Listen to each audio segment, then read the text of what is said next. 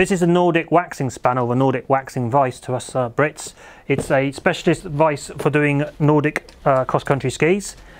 Uh, metal components throughout, so you've got three vice towers. You've got a central one here with a pin and then two external ones. The one with the pin here, the idea is that you get your Nordic ski upside down and push hard and click it in. So where your boot would normally mount in, you click in here nice and safely and that secures it.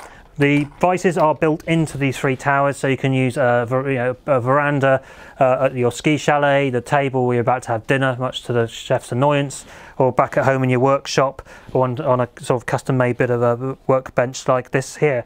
The two ends have these uh, adjustable, flexible uh, tower tops, rubberized as well. They click on here, just press on, and they angle to match the aggressive camber that you have on cross-country Nordic skis. Gives you a nice secure fit then with this pin in the middle, which is adjustable in height too, just in case you need it.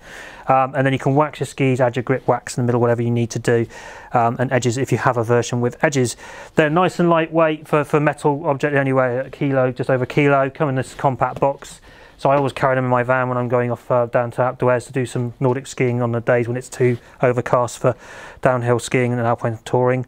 Um, yeah, solidly built, good quality workshop, professional level vices really, so you can't go wrong. So this is the Holmenkol Nordic Waxing Spanner uh, Vice Kit.